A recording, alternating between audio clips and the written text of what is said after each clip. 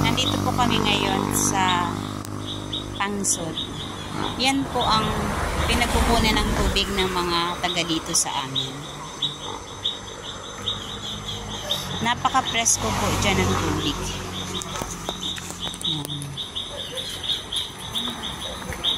Ah, may hag may ano na siya oh, may hagdanan na pag pupunta ka diyan sa baba.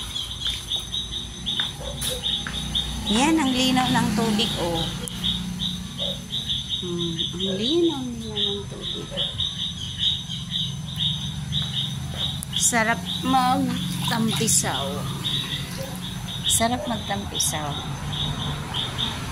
Yan, malinis siya guys lahat ng mga halos ng taga taga dito sa amin dito nag lalaba tapos dito rin meron din ng gripo hmm. nagkukuna ng tubig ay wala ngayon ng ano ng dito oh may ano siya may gripo yan oh no. dyan kinukuha yung namin yan ang tatlong gripo niya